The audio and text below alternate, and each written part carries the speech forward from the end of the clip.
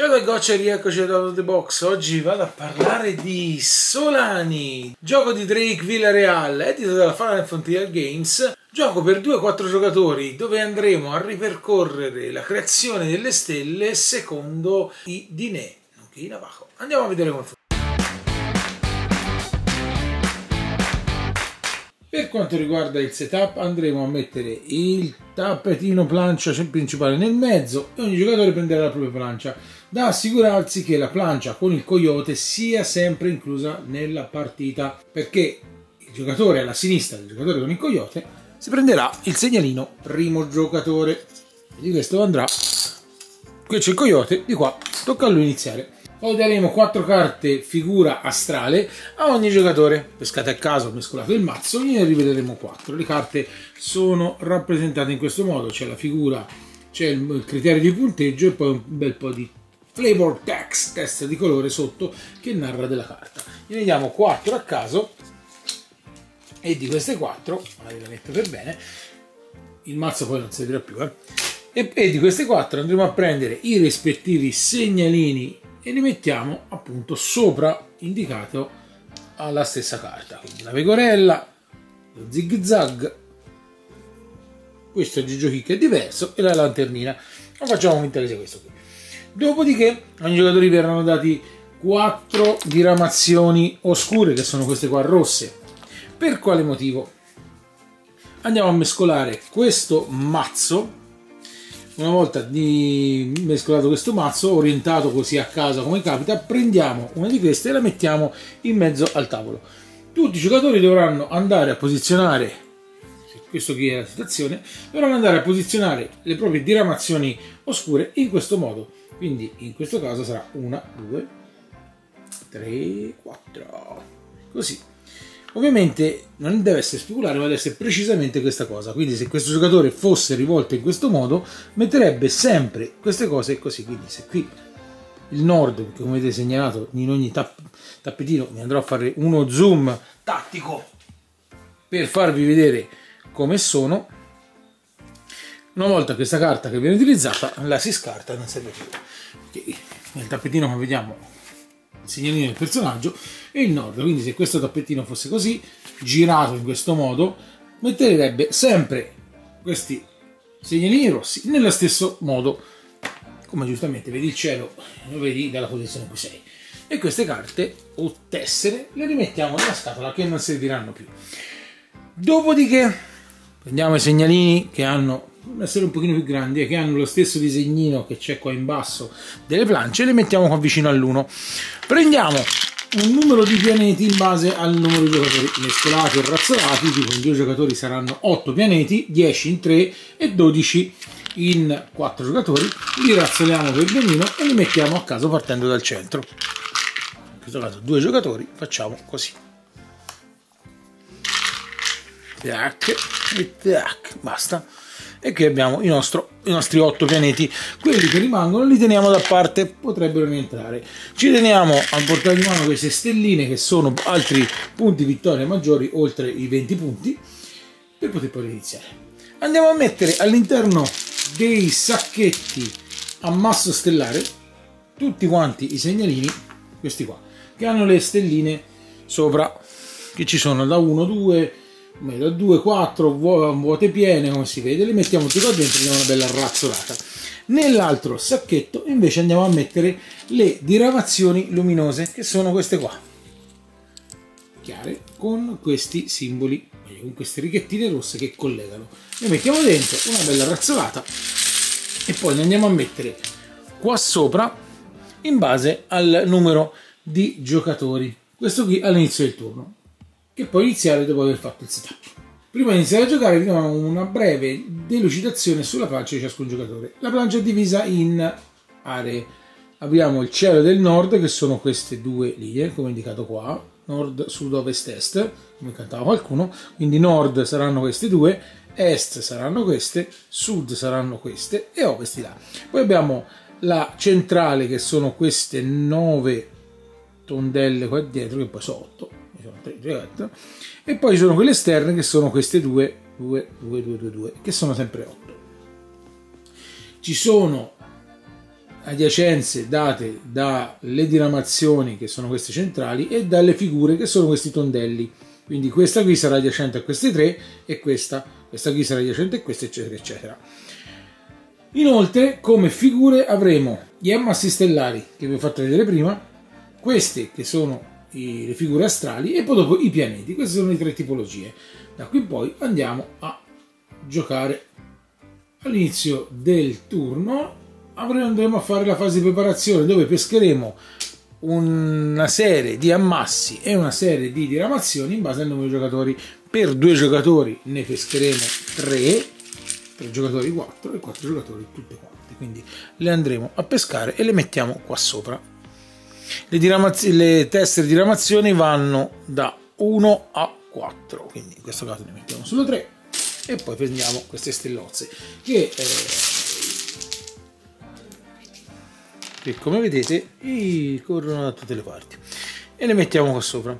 Come si vede da qua gli ammassi stellari possono essere luminosi o non luminosi. I luminosi sono quelli che sono vuoti all'interno di chiaro, che si vede un po' se zoom con comodo, comunque sia questi qua, esatto, il luminoso è quello a sinistra e quello a destra è quello non luminoso. E lo mettiamo qua sopra. Una volta che viene fatto il setup, partendo dal primo giocatore, andranno a scegliere di prendere o una diramazione o un ammasso stellare. Quindi prenderà un giocatore, se lo metterà qua, l'altro giocatore se lo metterà qua e poi in ordine inverso si va a prendere le stellozze e si mettono qua.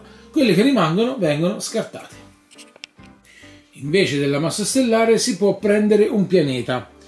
In base al valore della massa stellare si prende il pianeta più vicino. Come indicato qua 2, 4, 3. io invece di prendere questo da 3 potevo rinunciare e prendere il primo pianeta celeste da mettere qua. Una volta che un giocatore, che i giocatori hanno collezionato i propri pezzi, andranno a posizionarli. Ovviamente nel tondo ci va il tondo, nel, nello spazio centrale ci va lo spazio centrale. I collegamenti non limitano il piazzamento delle tessere, vuol dire che se io metto questa qui, per esempio, posso mettere anche questo qua, anche se non è collegato. Il collegare i pianeti deve essere fatto e anche le diramazioni deve essere collegato a qualcosa già presente che sia prestampato o presente già sulla nostra plancia. Quindi vuol dire che questo ammasso stellare lo posso piazzare qua ma non lo posso piazzare qua. Stessa cosa questo posso, met- lo posso mettere qua perché c'è il prestampato ma non lo posso mettere qua perché non c'è nulla. Il criterio con cui andranno messi questi è dato da punti che andremo a fare e vi spiegherò dopo quindi quando si vanno a piazzare gli ammassi stellari che hanno una stella luminosa, si va a fare subito i punti. Una volta piazzata si sceglie l'emisfero, quindi dove stava piazzata, quindi in questo caso posso scegliere il sud o l'est e per ogni stella luminosa andrò a fare due punti. Quindi ce ne fossero state altre, vediamo un po' se ne trovo una così al volo, alla volée in caso avessi piazzato in precedenza questa qua, in questo caso scegliendo, vabbè qui sarebbe sempre su ok, vado a fare 2-4 punti, mi prendo il mio cippettino e mi segno il punteggio. Nel caso in cui io vado a piazzare questi ammassi stellari e una diramazione oscura viene completamente circondata, verrà girata e eh, permetterà a quel giocatore di andare a piazzare una delle proprie figure astrali.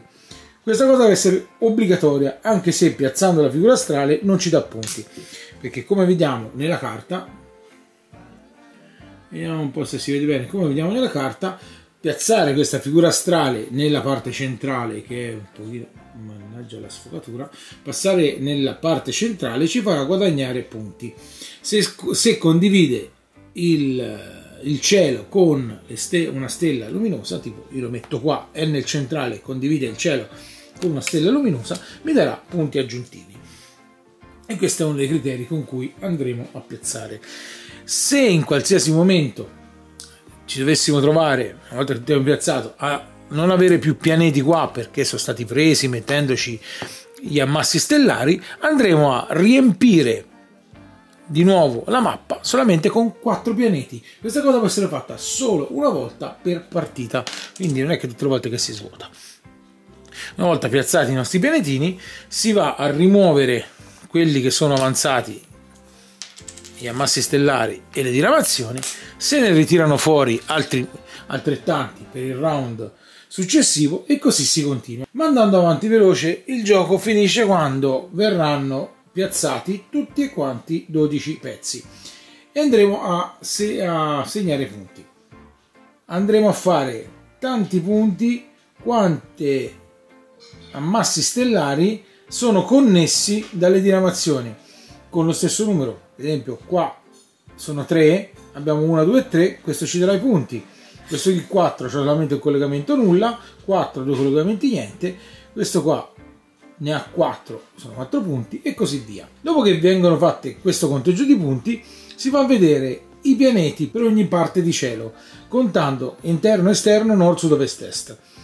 Due punti per ogni pianeta diverso in ogni cielo, ma se un pianeta ha un collegamento, quel pianeta viene rimosso, come in questo caso questi due pianeti, verranno rimossi e si conteggeranno solo quelli che non hanno un collegamento a sé. Quindi questo qua sarà l'unico e verrà fatto due punti per questo e due punti per il centrale. Che avrà più punti sarà dichiarato il vincitore. In caso di pareggio, il, il giocatore che ha fatto più punti dalle masse stellari vince e se c'è un altro pareggio verrà condivisa la vittoria.